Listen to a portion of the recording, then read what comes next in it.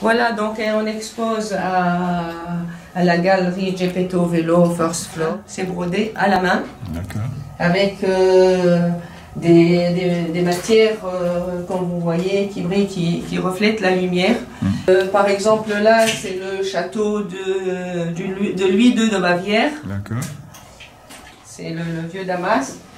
C'est très joli, c'est très... Euh, là, c'est Venise. Donc c'est des reproductions des endroits réels que j'ai visités, que je connais ou qui me reviennent à l'esprit. C'est des versets de Coran, c'est de la calligraphie arabe, des lettres arabes, et c'est brodé à la main. Donc il y a toujours sur le même support, euh, il y a de la broderie, là de l'écriture. Euh, voilà par exemple. Là c'est des versets de Coran. Aussi, ça, c'est les noms sacrés d'Allah.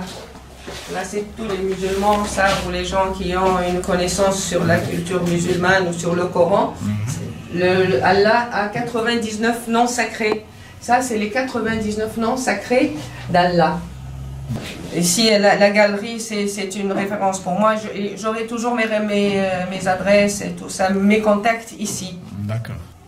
Et je vous incite à venir voir, même si vous n'achetez pas, si c'est des choses à découvrir. C'est des, des, objets de valeur. C'est des objets de valeur. Venez voir, venez toucher, venez visiter cette galerie, visiter cette exposition. Euh, c'est à voir. C'est à voir, c'est original. C'est la première fois que ça, que, que ça se présente.